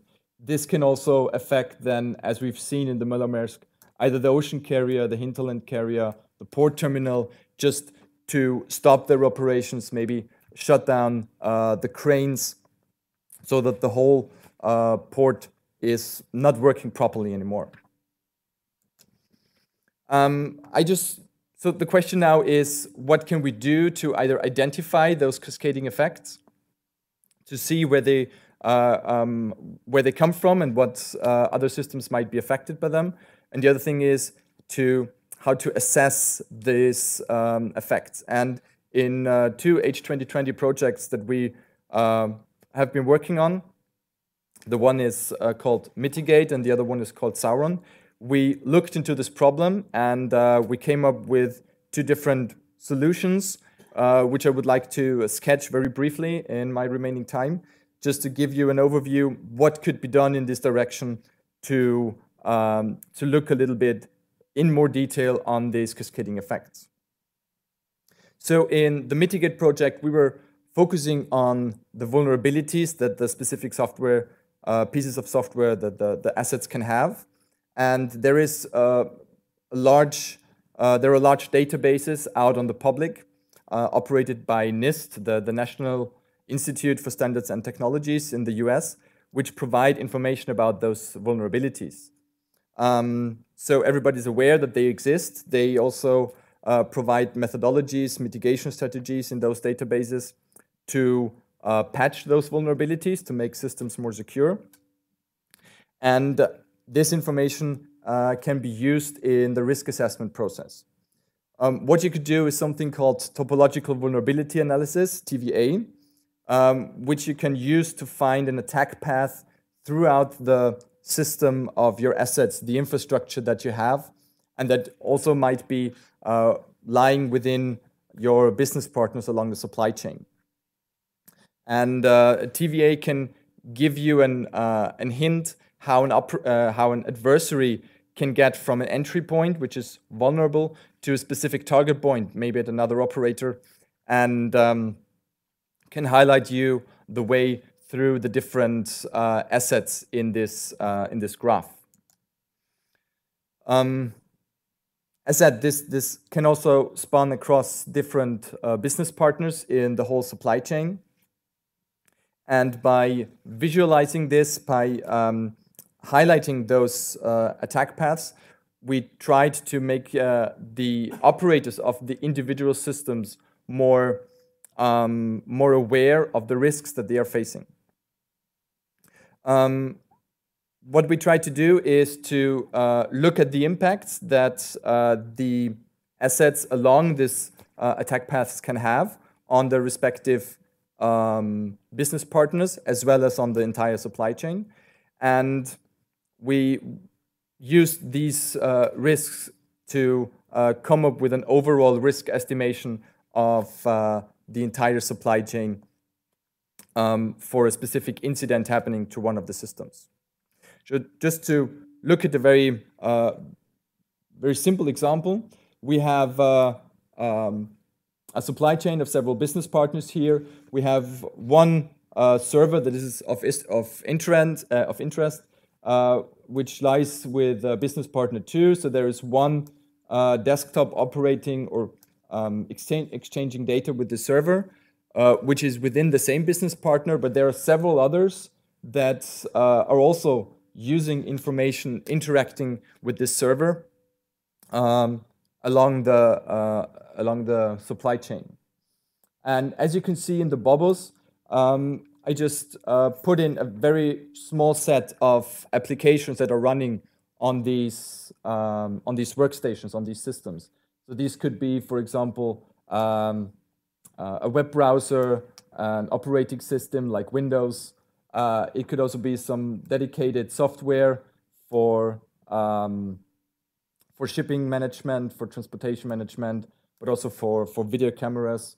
Now, what's what's happening, or what what could happen, is that one of the systems at business partner E, uh, business partner one, uh, there is uh, a web browser, the Internet Explorer, for example, which is out on the internet, which has vulnerabilities, and those vulnerabilities can be exploited by uh, an adversary, and the adversary can get access through the uh, Internet Explorer uh, on the operating system where it is running on, so in this case, uh, Windows 10, and uh, by using some, some privilege escalation, for example, uh, the adversary can get access of or get control of the entire workstation that you have at, um, at this business partner here.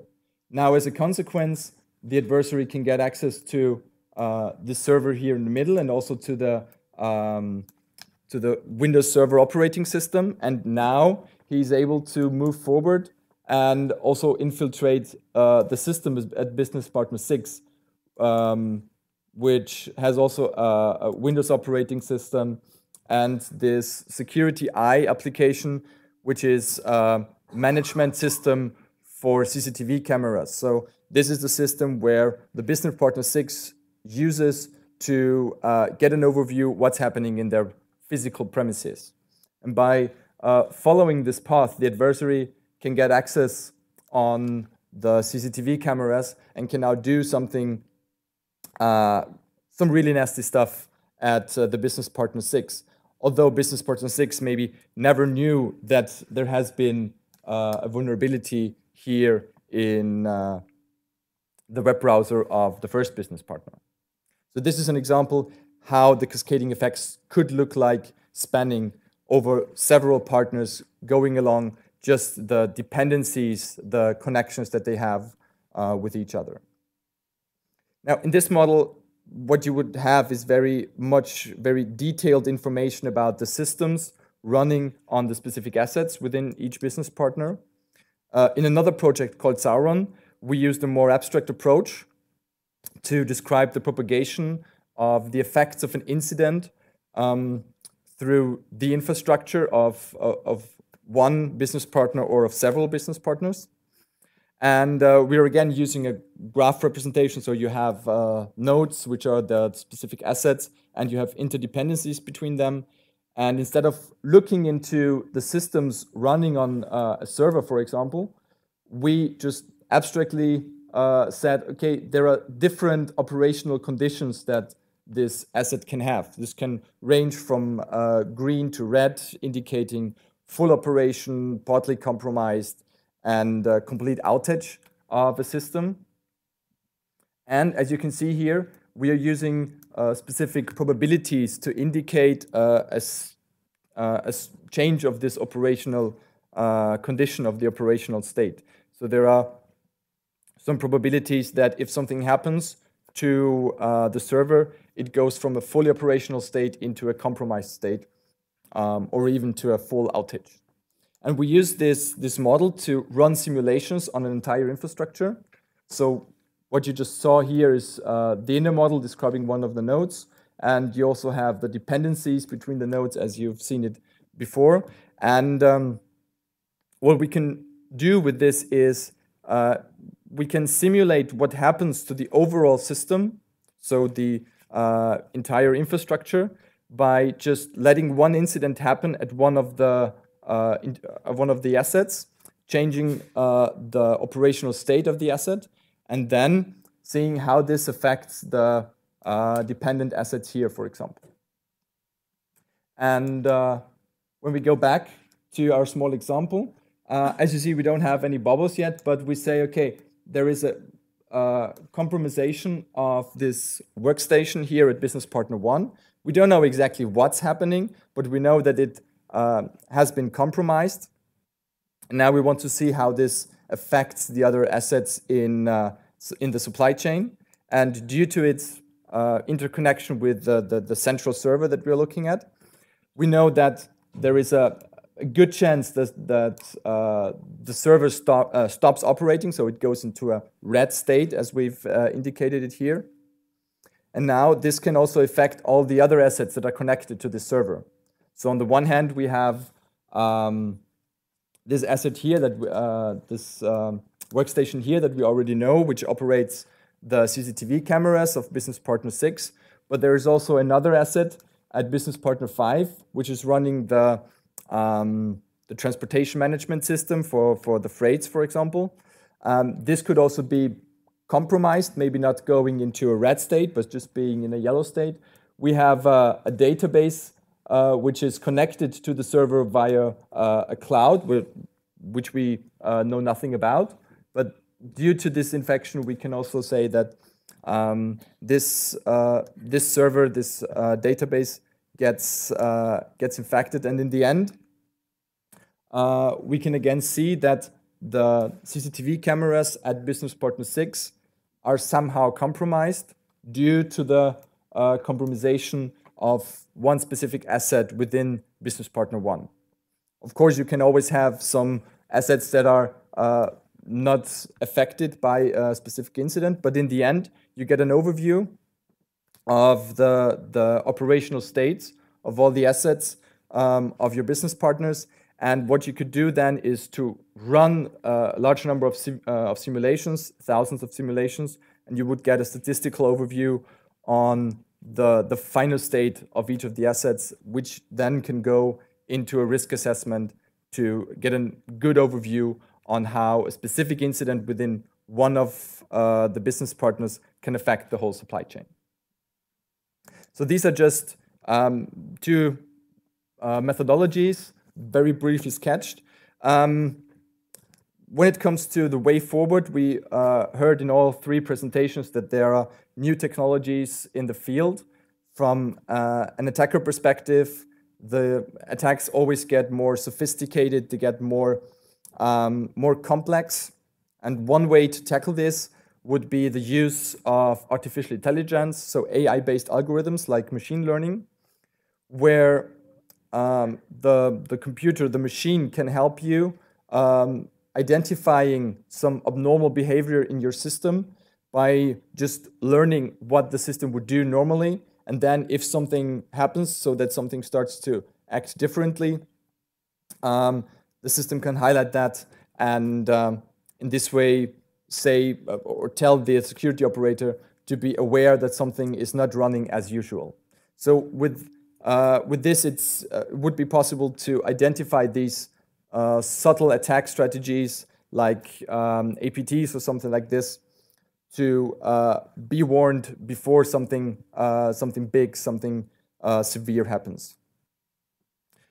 Second thing that we also heard, heard about is um, the application of sensor technologies. So um, the whole IoT sector where you can now get a lot of information from sensors about specific systems in your infrastructure. You can collect those, uh, um, those information, those data, and it can be on the one hand the, um, used to simulate the behavior of a system, the evolution of a system, and also to forecast how it would react to a specific incident based on this data that you already have.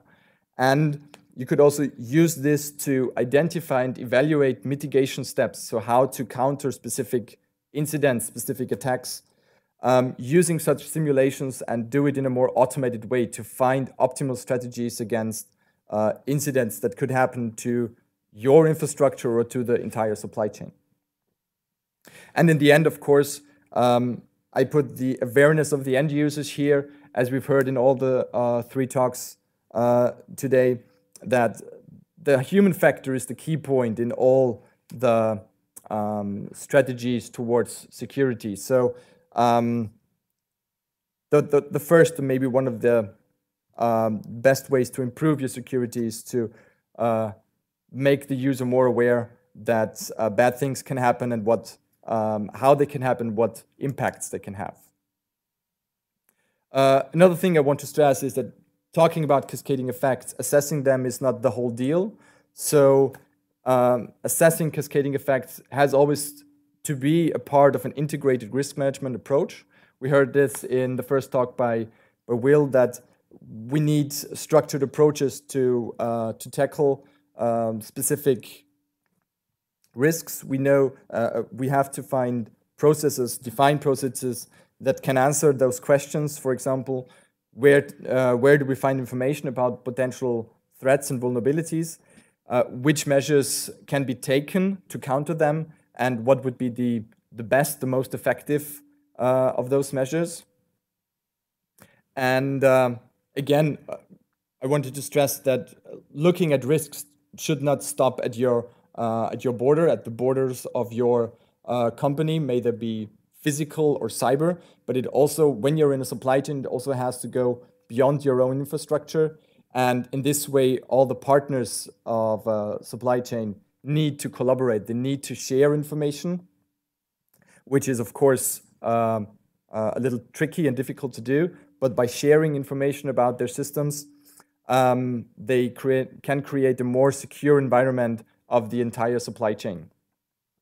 And I wanted to finish with uh, uh, this slide, which sketches the uh, mitigate supply chain risk management approach, which we uh, developed in the Mitigate project. And there we tried to cover all those aspects I just mentioned. So we tried to cover a modeling approach where we uh, focus on the interdependencies between several cyber assets uh, across different partners. We focused on the integration of open data and social media to be aware of upcoming threats, of uh, new threats, and the existing vulnerabilities within systems. We um, used this uh, way of looking at cascading effects for uh, all the three steps in the vulnerability analysis, impact analysis, and the risk assessment. And in the end, we are using a game theoretic driven approach, which could give you an optimal mitigation strategy to counter uh, the threats that you are uh, that you're facing to make the entire supply chain more secure and not only just one partner. So thank you very much for your attention, and I'm happy to ask uh, to answer any uh, questions. Thank, you very much, Stefan. Was so with this last presentation, let us take some uh, more questions for for Stefan. Uh, from Luxembourg, are there any questions? Uh, yeah, maybe just a, a, comment and a half a question. So, um, Amazon Web Services uh, uh, has uh, an automated reasoning group that has produced tools uh, such as Zelkova and Tiros that do exactly what you described. So, they use formal verification to provide a formal representation of all the virtual machines that they have on their clouds on the software components that exist on those virtual machines and on the known vulnerabilities that each such software uh, component has and how they can interact with one another. So uh, the, the half question is, can you comment on what you perceive to be the differences between your research project and these systems that already are in production at Amazon? Well, um, I think this is a very uh, um, ideal setting at Amazon. So uh, they are very much aware of the threats they are facing. They're very much aware of uh, the systems they are operating and what's running on them. So I'm, I'm pretty sure they're doing an excellent job on, on this. What we are focusing in uh, the research project is, um, or our companies, critical infrastructures that um, don't have their entire focus dedicated to IT security they may not be aware of what's running in their systems, what's running in their IT infrastructures. Um, I know that the general uh, thought, the general recommend, recommendation is that you should be aware of what's, what's running in your IT infrastructure. But from, uh, from the field, I know that there are um, large companies, um, companies which are critical infrastructures who are not really aware what their critical processes are. And in this case, uh, we, we try to find uh, more um, hands-on uh, methodology, let's put it like this, a hands-on methodology to give the operators, the security operators, and the, the security stuff at hand that they could use in their day-to-day -day practice to, um, yeah, to, to uh, cover the, the, the challenges they are facing in uh, their day-to-day security practice. Okay, thank you. Are there any questions uh, from uh, Luxembourg or from Brussels? Okay, well, thank you very much, Stefan. That was wonderful. So, first of all, I would like to thank all speakers. And uh, let me uh, make some wrap up uh, with some points I I wrote down here from those very uh, interesting presentations. Um, I guess uh, that uh, we all agree that having risk assessment and performing risk assessment only in our entities is not enough when we are supply chain providers. We need to think about um, identifying and as- assessing, assessing the risks of uh, all of the whole supply chain, and that requires collaboration among all business partners involved in the provision of the supply chain uh, services. Also, uh, we, we from the last presentation, we saw that uh, we really need, and uh, that these were examples of new models and new approaches of how to forecast attack paths. And uh, by forecasting attack paths, of course, uh, that will, this will help us to become more prepared, to plan better, and to manage better our supply chain uh, risks. We need to identify and measure uh, the cascading and propagation effects of the supply chain uh, risks. And uh, uh Stefan gave us uh, these two good models from Mitigate and, and Sauron. Also, I saw from uh, Armand that uh, new business models are required and uh, some examples for future business services that deal with the design, integration, and management of, um, of supply chain services, and that was uh, very interesting. We need to identify, uh, as, as Anne uh, mentioned, that we need to invest more on uh, identity management and access control tools in distributed systems, and that needs further research. Also, to control the propagation of uh, uh, privacy related attacks within the supply chain services and the supply chain attack detections using more dynamic tools. And finally, our honor uh, uh, guest from EU Customs, uh, we saw that uh, EU Customs also has three main instruments for securing the not only the EU but the global supply chain. Uh, the risk management strategy. So again, risk management is necessary, as we saw. The new certification concept, like uh, called the authorized economic operators concept, and that's very interesting because in DG Connect we have the um, the the uh, operators of critical services, and probably we can think of uh, relating the NIS directive imposing the operators of critical services to perform the risk assessment and actually uh, try to align this uh, NIS directive with the certification provided, uh, this uh, authorized economic operators certification. Also, we heard about the detection technologies that is very, very important, and the smart borders principle that has been adopted. All three speakers have agreed that uh, artificial intelligence machine learning may be a technology that will help the assessing the supply chain uh, risks and help uh, the security of, of, data analytics that actually, as we saw, EU customs have a plethora of data that need to, uh, we need to have some new ways to analyze uh, and data. uh, this data and probably artificial intelligence, uh, machine learning will help us perform dynamically uh, the risk assessment of the supply chains, is uh, probably the global uh, supply chain.